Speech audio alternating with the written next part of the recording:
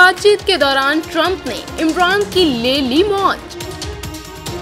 Donald Trump और इमरान खान के बीच आखिर क्या बात हुई? अमेरिका दौरे पर गए पाकिस्तान के प्रधानमंत्री इमरान खान ने संयुक्त राष्ट्र महासभा के सत्र में हिस्सा लेने से पहले अमेरिकी राष्ट्रपति डोनाल्ड ट्रंप से मुलाकात की। इस मुलाकात के बाद दोनों नेता पत्रकारों से भी मुखातिब हुए। इस दौरान कई मौके आए जब डोनाल्ड ट्रंप ने अपनी बातों और जवाबों से इमरान खान की मौज ली।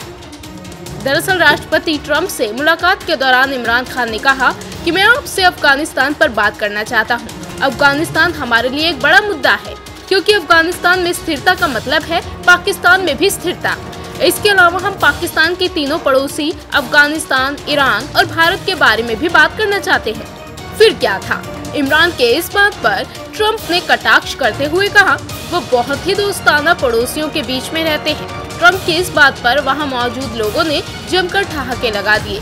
दोनों नेताओं के इस प्रेस कॉन्फ्रेंस के दौरान ये पहला मौका नहीं था जब ट्रंप इस तरह से इमरान खान की मौज लेते नज़र आए।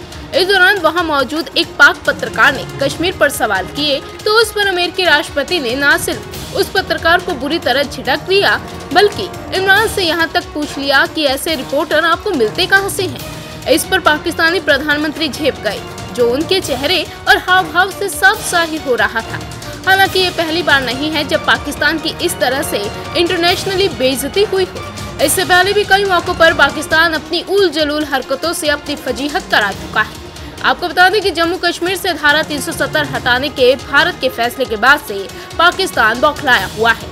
वो न सिर्फ़ दुनिया के तमाम मंचों पर कश्मीर का राग अलाप रहा है, बल्कि भारत के खिलाफ फर्जी खबरों का सहारा लेकर प्रोपोगेंडा भी कर रहा है। इससे पहले वो संयुक्त राष्ट्र मानवाधिकार परिषद में भी भारत को कटघरे में खड़ा करने की कोशिश कर चुके हैं, लेकिन इमरान की इस कोशिश पर पानी फिर गया।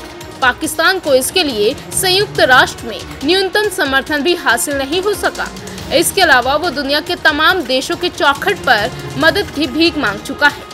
लेकिन किसी भी देश ने उसके कंधे पर हाथ देना मुनासिब नहीं समझा।